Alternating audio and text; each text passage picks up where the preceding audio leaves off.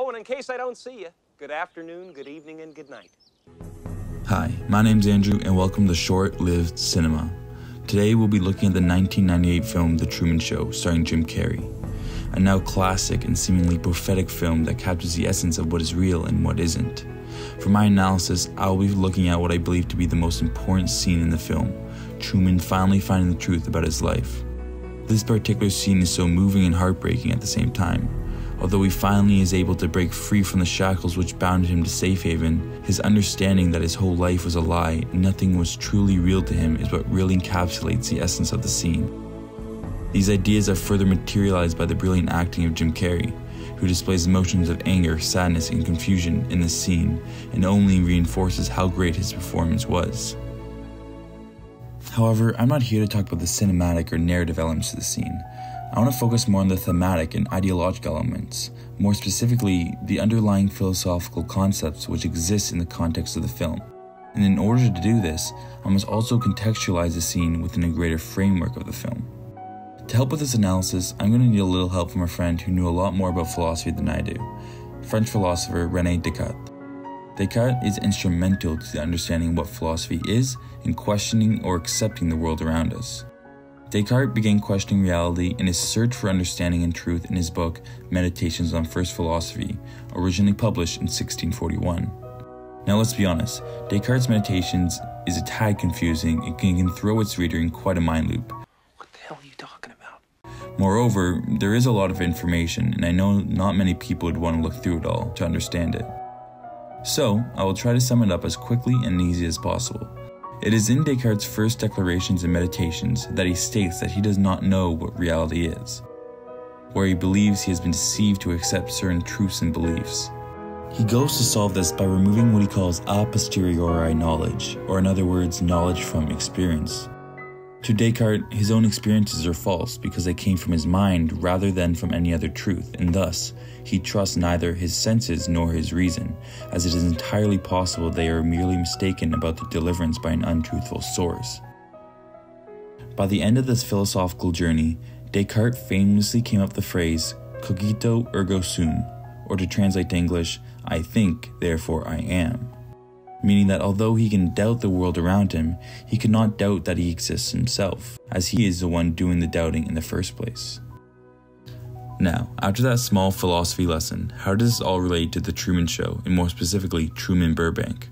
Well, just as Descartes doubted his reality, so does Truman as the film progresses. He becomes concerned about his life and the people who are in it after seemingly running into his thought to be dead father.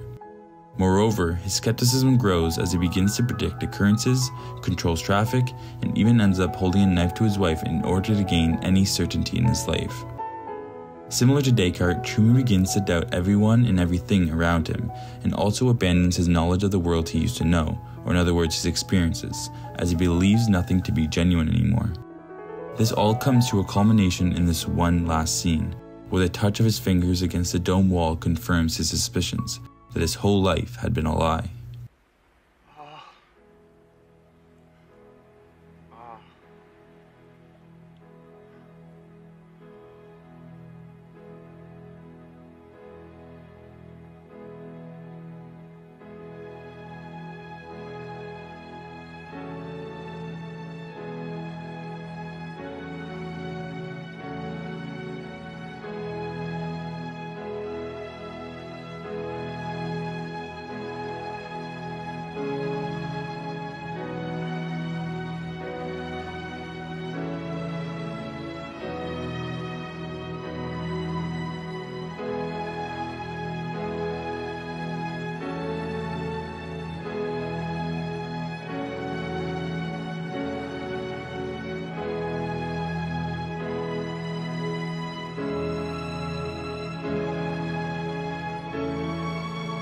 This scene also includes Christof, the creator of the show, who sounds akin to Descartes' description of an evil genius or a malevolent demon that exists in order to deceive humans.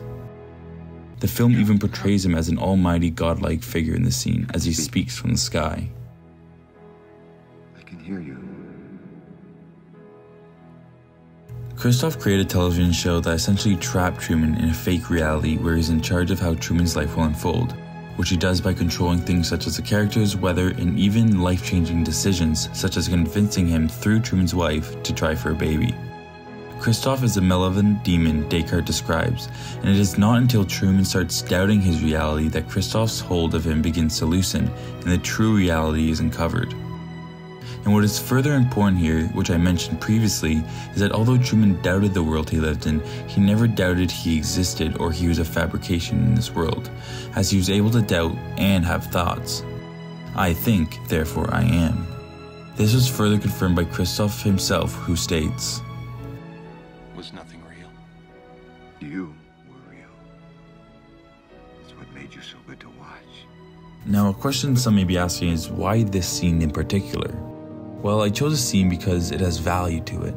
It's the conclusion or even the completion of Truman's journey to find the truth. He overcame obstacles and has the courage to doubt his reality and not be succumbed by the offers of a comfortable lifestyle he'd be promised if he stayed. There's no more truth out there than there is in the world I created for you. Same lies. The same deceit. But in my world, you have nothing to fear. Being thrown in unto familiarity in the unknown is more appealing to him than further being provided a false world. His exit in the scene is also quite symbolic, literally walking into a black abyss of uncertainty on his search for more truth. I find it so intriguing modern day films bringing philosophical concepts first thought about centuries ago into a contemporary setting. Although difficult to comprehend at times, putting it through a channel such as a film like The Truman Show can make it easier to understand and provide a deeper context and understanding to any film. I hope you enjoyed the video and learned a little bit about how philosophy exists as an underlying theme in films such as The Truman Show. The final scene is so important to the rest of the film as it shows the transition of Truman as a man of ignorance to a man of wisdom, who frees himself from the illusion a greater being set for him and thus becoming his own self. The Truman Show illustrates the fact that although there are people who try to control your life, individuality and understanding of who you are is the most important thing. There's no doubt Rene Descartes wouldn't have been first in line to see this film.